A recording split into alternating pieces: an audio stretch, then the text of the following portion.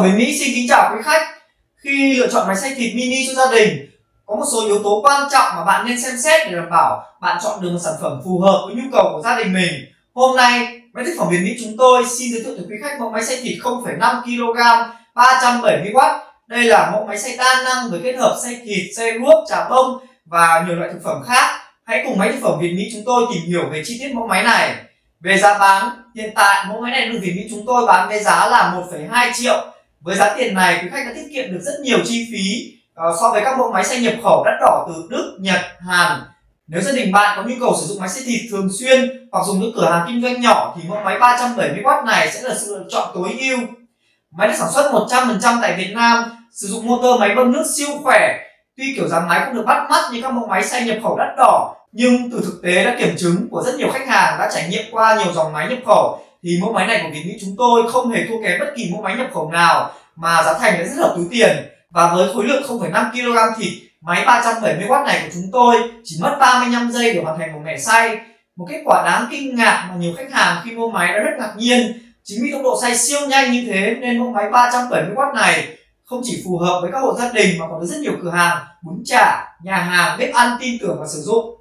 Với thiết kế đơn giản và tiện dụng, máy nhỏ gọn và dễ sử dụng, điều này giúp bạn tiết kiệm không gian và dễ dàng di chuyển hoặc lưu trữ máy. Và lời khuyên chân thành cho các hộ gia đình không nên ham rẻ khi mua các máy xay khối thủy tinh giá rẻ đang quảng cáo rầm rộ trên mạng. Mẫu máy đó có độ bền rất thấp, máy rất dễ chập cháy vì motor rất kém chất lượng và không đảm bảo an toàn cho người sử dụng.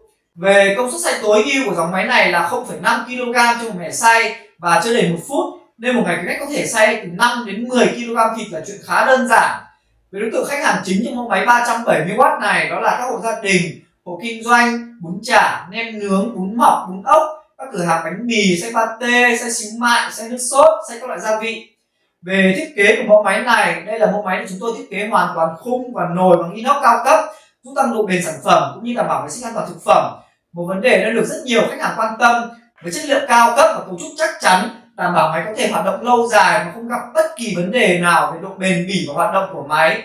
với động cơ của máy, chúng tôi sử dụng khối motor 370W được cuốn bằng 100% dây đồng nguyên chất. Đây là yếu tố quyết định độ bền của máy, giúp máy xay ổn định, không dễ dàng hỏng hóc hay chập cháy trong quá trình xay.